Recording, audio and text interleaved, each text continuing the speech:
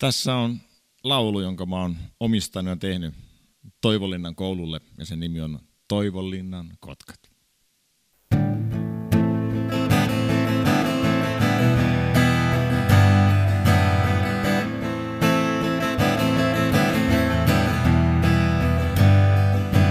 Mihin on kotkat taivaalta kadonneet?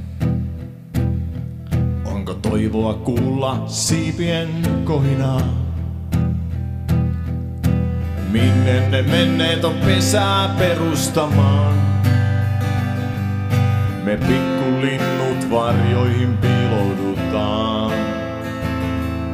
Jos kotkia emme näe, pikkulinnut ei tiedä pienuuttaan. Jos kotkat ei näytä suuntaa oikeaa, emme toivon tuulta pysty seuraamaan. Äkkiin ei kotkaansa koskaan vangita. Se on taivaalle luotu tietä näyttämään, sillä jos kotkia emme näe, pikkulinnut ei tiedä pienuuttaan. Toivon linnan kotkat siipen levittäkää, lentäkää.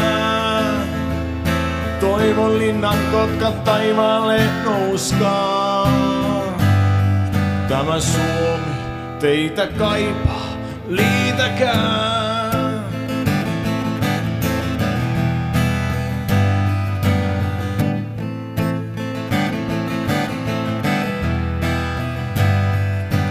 Aika on rukoilla ihmettä tänään. Pian saapuvat kotkat meitä puolustamaan. Ne rakkauden voimasta kerran nousivat. Ne Jumalan voimasta nousevat uudestaan. Sillä jos kotkia emme näe, pikkulinnut ei tiedä pienuuttaan. Toivon linnan kotkat siipen levittäkää.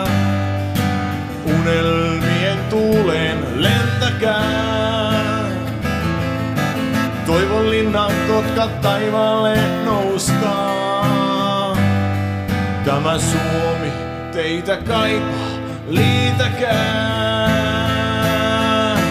Jumalan kotkat siipen levittäkää. Pyhän hengen tuuleen lentäkää. Jumalan kotkat taivaalle nouskaa.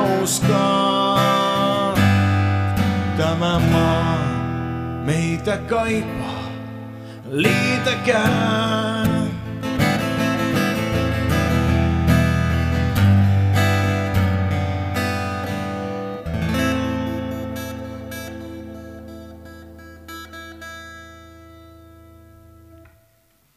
Näin.